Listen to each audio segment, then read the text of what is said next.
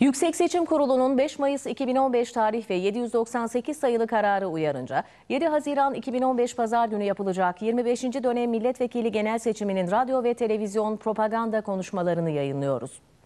23 Mayıs 2015 tarihinde Yüksek Seçim Kurulu'nda gerçekleştirilen ad çekme işlemine göre birinci konuşmayı Halkların Demokratik Partisi adına eş genel başkan Figen Yüksekdağ yapacak.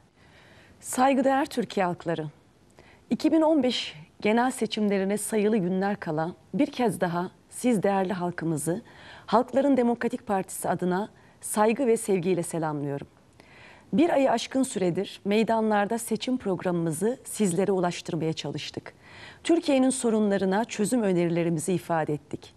Seçim bildirgemizin Türkiye halkları tarafından büyük ilgi ve heyecanla karşılandığını görmek bizler açısından en büyük moral kaynağı oldu. Değerli halkımız, biz insanın insana kulluğunu reddeden bir gelenekten geliyoruz. Yıllarca bu ülke halklarının demokratik ve meşru hakları için mücadele verdik. Yeri geldi kadın kimliğimizle erkek egemenliğine baş kaldırdık. Yeri geldi genç kimliğimizle geleceksizliğe karşı çıktık. İnancından dolayı horlanan, başörtüsünden dolayı ikinci sınıf ilan edilen kardeşlerimizin sesine ses verdik. Alevilerin eşit yurttaşlık mücadelesinin yanında yer aldık. Fabrikadaki işçinin, tarladaki köylünün, sokaktaki çocuğun haklarını savunurken aynı zamanda yere düşürülen büyük insanlığımıza sahip çıktık. Yaşanabilir bir çevre ve ekoloji mücadelemizden asla taviz vermedik. Büyük insanlık çağrısı adını verdiğimiz seçim bildirgemizle siz değerli Türkiye halklarının karşısına çıktık. Bizler kadın, genç, işçi, işsiz, emekli. Bizler Sünni, Alevi, Ezidi, Süryani. Bizler Türk, Kürt, Arap, Laz, Roman, Ermeni, Çerkez ve daha adını burada sayamayacağımız nice zenginliğimizle HDP'de buluştuk. Saygıdeğer Türkiye halkları, üzerinde yaşadığımız kadim topraklar binbir çiçekli cennet bahçesi birer kültür ve inanç deryasıdır. Mevcut siyasi rejim bütün renkleri tekleştirip karartırken biz her zamankinden daha fazla çoğulculuğu savunduk ve bu değerlere sarılmayı görev bildik. Çünkü bizler birbirimizi fark etmeyip değerlerimizden uzaklaştıkça bu tekçi rejimin sahipleri daha fazla güçlendi. Bizler temel hak ve özgürlüklerimizden taviz verdikçe onlar daha da otoriterleşti. Bizler emeğimizden feragat ettikçe onlar servetlerine servet kattı. Bugün bizlere dayatılan ekonomik ve sosyal yaşam toplumsal adaletsizliği tahammül edilemez bir noktaya getirdi.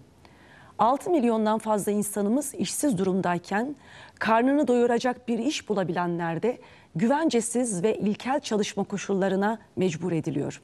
13 yılda 15 bin dolayında işçi, emekçi iş cinayetlerine kurban edildi. Tarım bitirilme noktasına getirildi. Milyonlarca köylü büyük kentlere göç etmek zorunda kaldı. Açlık sınırı altında yaşayan 5 milyon asgari ücretli bölge bölge il il dolaşarak karın tokluğuna çalışan milyonlarca mevsimlik tarım işçisi, emeği yok sayılan kadınlar, kör vicdanların göz diktiği çocuk işçiliği gerçeği karanlık bir tablonun özetidir. Sevgili halkımız, işte bu sömürü ilişkilerinin mağduru milyonlarca yurttaşın temel hakkı olarak insan onuruna yakışır bir gelir elde etme talebi partimizin önceliğidir. Kentlerimizi yoksullar ve zenginler olarak ayıran, kentsel dönüşüm adı altında yoksul mahalleleri sermaye için yeni rant alanları haline getiren, milyonlarca yurttaşımızı borçlandırarak kendisine mecbur bırakanlara dur diyoruz. Ekonomik yaşamın da demokratikleştirilmesi için çalışmak temel sorumluluğumuzdur. HDP üretim sürecinde emeği ve adil paylaşımı savunmanın adıdır.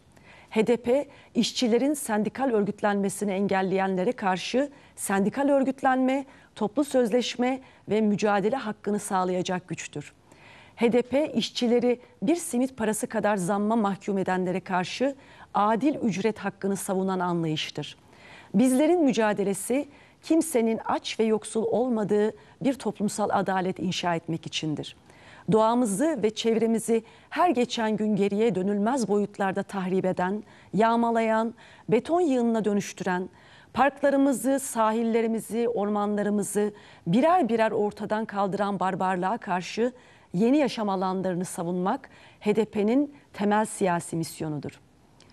Fabrikalarda, tarlalarda, madenlerde canı pahasına çalışanlar, emekçi halkımız. Onlar işsizliği ve yoksulluğu bir kader gibi sunup kendi saltanatlarının devamını sağlamaya çalışıyorlar. Oysa ki işsizlik sorununu çözmek mümkün. HDP olarak çalışma sürelerinin kısaltılarak haftalık 35 saate indirilmesi, istihdam oranını yükseltmek için özel ve kamusal yatırımların geliştirilmesi önceliğimizdir. Yoksulluğu insanlık onuruna yapılmış en büyük saldırı sayıyor. Sosyal yardımların bir lütuf değil, bir hak olduğu anlayışıyla bütçedeki payının büyütülmesini savunuyoruz.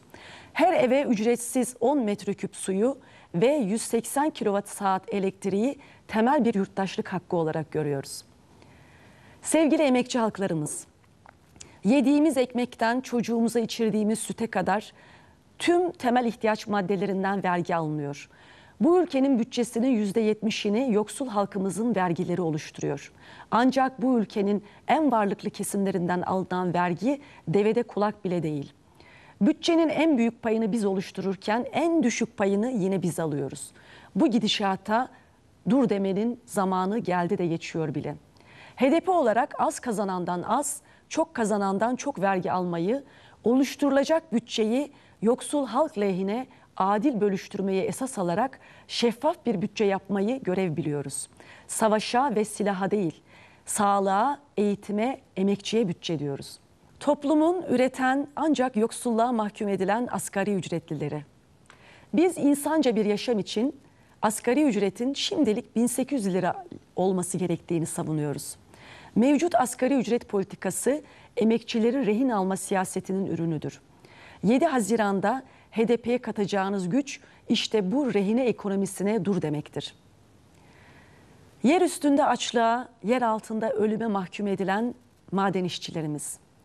Yerin yüzlerce metre altında mahkum edildiğiniz karanlığa güneşin doğması, yaşanan ölümleri fıtrat sayanların size hesap vermesi yakındır. Saygıdeğer büyüklerimiz, siz sevgili emekliler, yıllarca çalıştınız, didindiniz ve bu ülkenin ekonomisine değer kattınız. Bu ülkenin her kuruşunda alın teriniz varken bugün yoksulluğa terk ediliyorsunuz. Emekli maaşlarının en az 1800 lira olması sizlere yapılan haksızlıkları gidermeyecektir. Ancak bir hakkı teslim etmek açısından anlamlı olacaktır. Siz değerli çiftçilerimiz, köylü halkımız. Her geçen yıl daha da daralan tarım alanlarıyla, susuz bırakılan tarlalarla, çoraklaşmış topraklarla baş başa bırakıldınız. Büyük şirketler her gün topraklarınızı yok pahasına elinizden alırken teker teker yurdunuzdan göçmek zorunda bırakılıyorsunuz. Dünyanın en pahalı mazotuna mahkum edildiniz. Çiftçilerimizin kullandığı mazot ve gübreden vergi almayarak bu mahkumiyete son vereceğiz. Geleceğimizi bugünden güzelleştirecek gücün yani hayallerimizin sahipleri sevgili gençler. Onlar geleceğimizi karanlığa mahkum etmek isterken bizler gençlik bu ülkenin geleceği ve özgür iradesidir dedik. Bugün genç işsizlik ve yoksulluk bu kadar katlanılamaz hale gelmişse geleceğimiz ve hayallerimiz de tehlikede demektir. Gençliğin ülke kaynaklarından en iyi şekilde faydalanması gerekir. Gençlik harçlık verilecek kesim değil, hakkı verilecek kesimdir. Genç yaşam kartıyla her ay 200 TL'nin cebinizde olması sorunlarınızı çözmese dahi istihdam edilene kadar sizlere bir nefes aldıracaktır. Hayal gücü iktidara, çerez paraları da gençlere diyoruz. Ataması yapılmayan öğretmenlere, mühendislere ve tüm üniversite mezunlarına iş ve güvence sağlamak için seferber olacağımızı ilan ediyoruz. Dünyanın yükünü omuzlarında taşıyan emekçi, cefakar kadınlar. Halkların Demokratik Partisi olarak bütün ev kadınları emekli olmalıdır dediğimizde meydanlarda kaynak nerede diye soruyorlar. Kaynak biziz. Kaynak fabrikada, tarlada, evde. Kaynak bizler üretirken erkeği yemen sistemin el koyduğu zenginliklerimizdir. Bizler yani bu toprakların emekçi kadınları 7 Haziran'da dünyanın bütün kirli çamaşır ve bulaşığını yıkamaya değil, kirletilmiş bütün insanlık değerlerini temizlemeye geliyoruz. Kadim Türkiye halkları, Bugün özgürlük, eşitlik ve adalet için verdiğimiz mücadele birbirini tanımayan milyonları yan yana getiriyor.